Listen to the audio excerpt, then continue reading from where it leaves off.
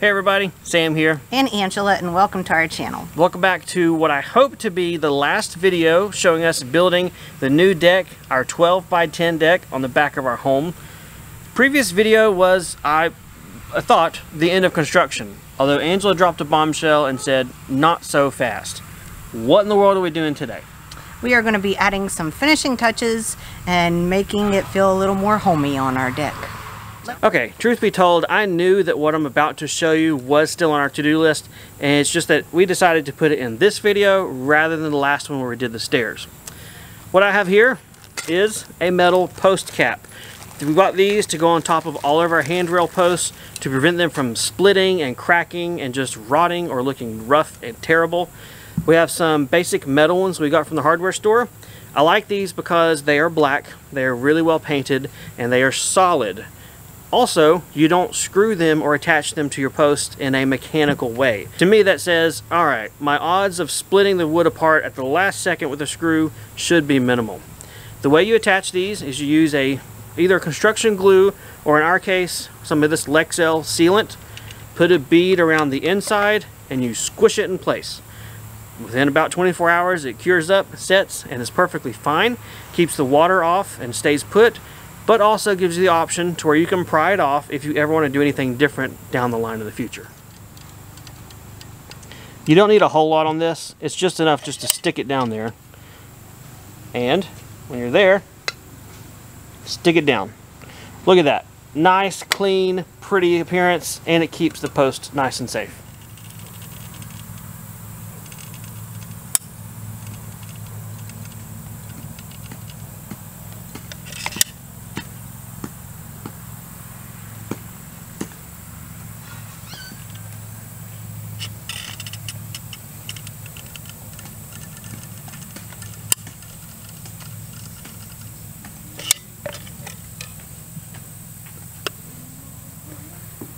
I really like how the post caps finish off the deck. It looks really good and whenever you glue them like that, they're really fast to install. they really are. she could barely get one out of the pack and open it before I had one done and was moving on to the next. Right. So we had ourselves a little square dance out here on a rectangular deck. so that's it, right? Deck's done? Not quite. We got some stuff to make the deck feel a little more homey. Like I say, we. I was totally an accomplice. You were an accomplice. Actually, I was. I was an instigator and encourager. You were. We couldn't very well have a nice new deck and not have anything to put on it. True. Nobody likes sitting on the bottom floor of a deck. So the first thing we are going to add up here is a nice umbrella because I have to say it gets quite sunny and quite hot out here. Absolutely. So let's get our new umbrella and put it together.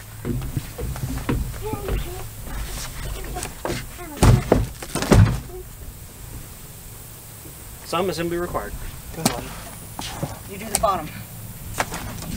Where? Gotta cut these off.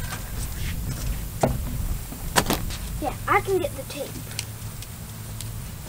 I feel more comfortable with tape with knives. I can cut away from myself. Do you want the scissors? No. One right here. I'm putting up the razor blade. Ha, I don't feel comfortable.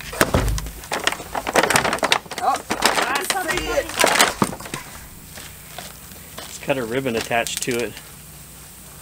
Hardware inside. More than one person may be required to assemble this product. No problem.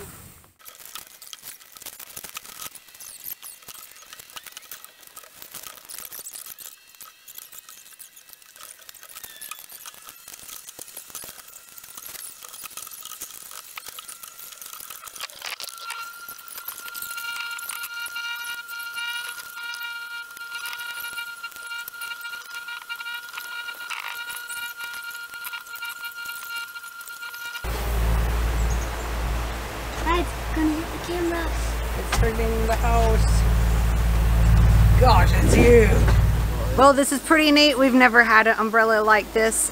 Um, truthfully, it was on clearance and less than half the price, which was amazing. We think this is where we want it, but it's kind of hard to tell without putting other things on here. So let's see what else we got. Let's see what I was thinking. All right, go out that way. Oh, how nice. Now, what was it that you said you wanted to do out here? Legos. So do you think you might be able to do your Legos out here now? Yeah. We have a rug. You shouldn't lose any Legos on the porch. It was important when we were looking at the rugs to make sure it was an outdoor rug that water would go through so it wouldn't get cruddy and yucky. So the boys would still be able to come out here and play on it and not think it's nasty. So I think this fits the bill. So when we went looking for a patio set to put up here as far as patio furniture, we knew we wanted something that they actually call a conversation set which is kind of like a little love seat and two chairs with like a little coffee table rather than getting like a dining table with four to six chairs with it. We didn't really want that type. We wanted something a little more relaxed out here for us while the boys go out and play. Well, we went to several stores and those are very pricey to get any kind of set like that. Um, you're talking about 600 plus and that's not really in our budget. That's not really what we wanted to do. So we happen to be at the end of the season. There's a lot of clearances going on right now and we got to one of the stores and they had the display for sale. So I went and asked if they had any additional discounts could they do on it because it was kind of scratched, had a stain on one of the seats, that type thing. And they said, sure, we'll knock off a little bit more. So we got it at a better deal. And we were also able to add a couple little extras to go with it that were marked down as well, some as much as half. So that was really nice too. So let's take a look at what we decided to get.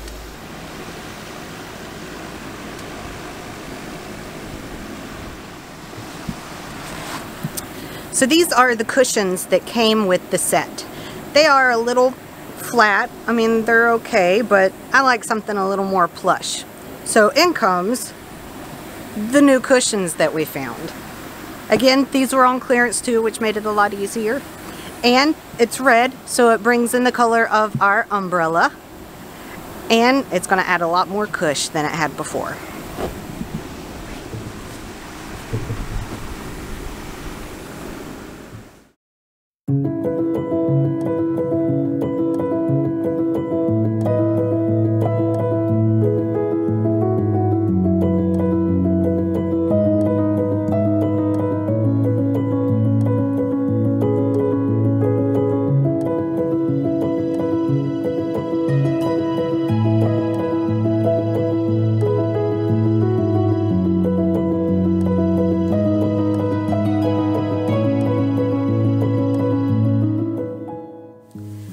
So whenever you come up the steps on our deck, you will see the major thing, which is our umbrella. But we wanted to still use that space a little bit, so we took our coffee table and kind of set it catty corner over the side of it so we can still utilize that space and not have a lot of dead space, which we don't like. I mean, you want to use every bit you got. Our set came with two chairs, the coffee table, and the little love seat. They didn't have the red cushions for the love seat, but we found that we could add the two pads for the chairs onto the back of the seat here and give us extra cush. We may look for cushions later on, but right now I think it's absolutely fine. This is actually a lot more than I kind of anticipated. The umbrella, it's kind of weird that it's over on the side, but it casts shadow on a good part of the deck for the time of day that we're going to be out here. So this is a lot more than we had really anticipated and this set is a lot nicer than anything we have ever had. I really like it.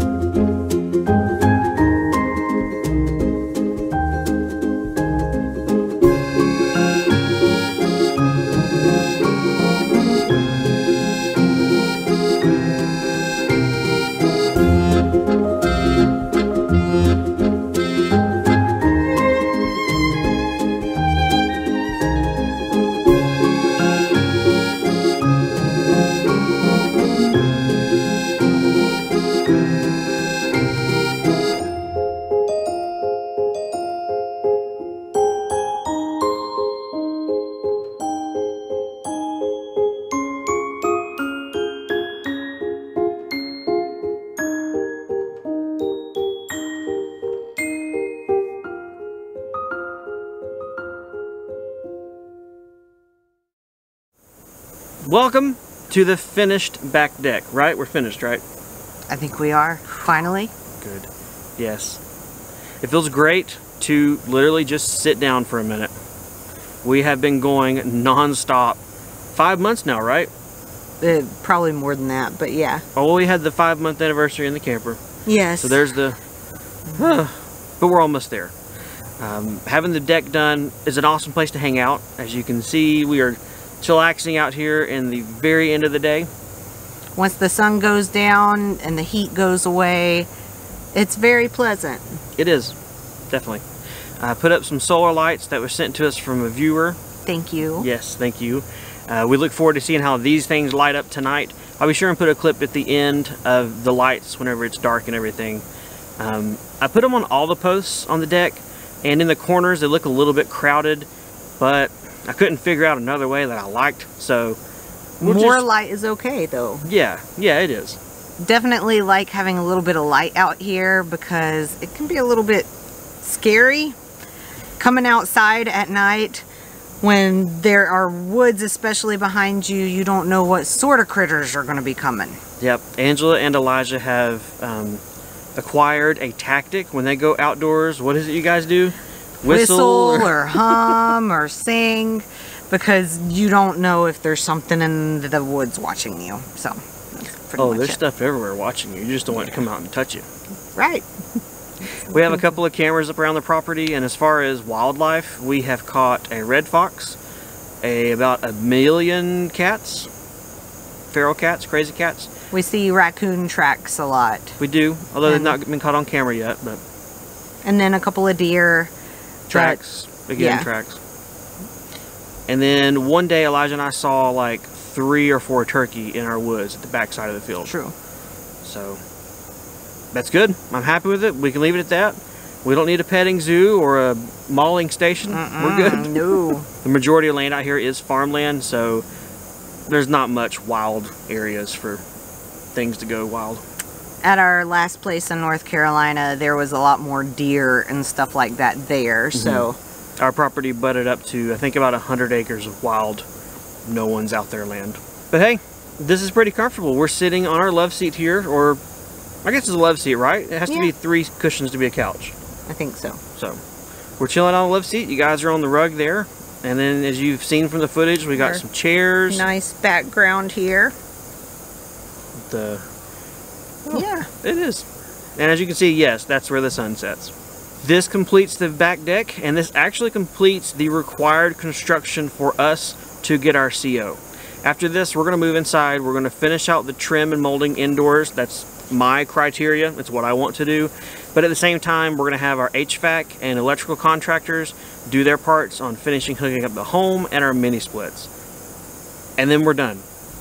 As crazy as it sounds, that's it. So uh, definitely stick around for those videos as far as the interior work.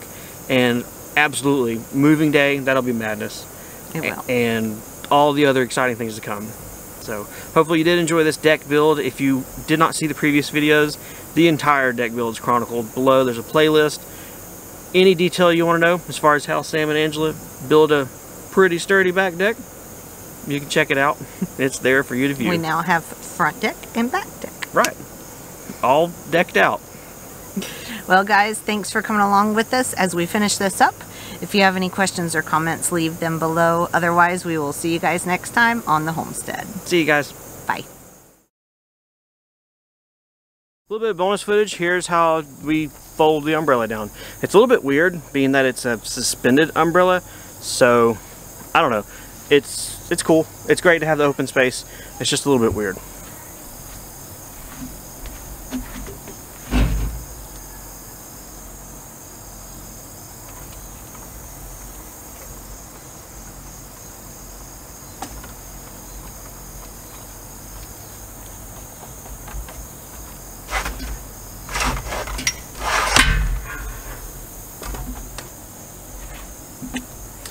kind of reminds me of a flower petal or something as far as whenever it folds up and kind of droops down and over. But it's cool. It definitely is out of the way and is pretty easy to put up. So, alright, we'll see you guys in a second for that nighttime footage and then it'll be a blooper reel. You know that's coming. So stick around.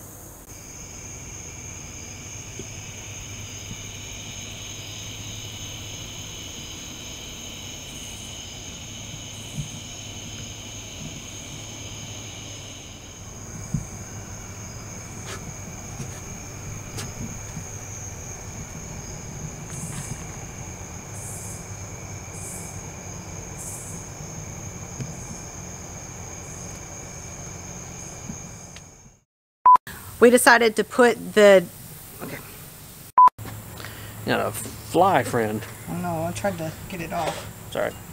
We decided to put the table kind of catty corner over top, the, All right. Well, I'm gonna I'm gonna lead the witness, and you're the witness here. Mhm.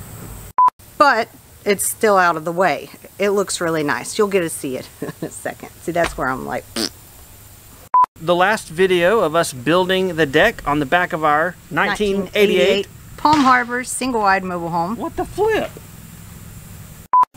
Are you sure it's focused? It feels really close. Yeah. Okay. Well, it's pretty neat. We've never. out of the way. Ah! Oh, come on. This will be new for us. You will be.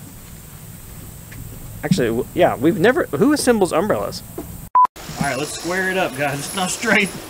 I don't know what you mean. I'm having an episode over here.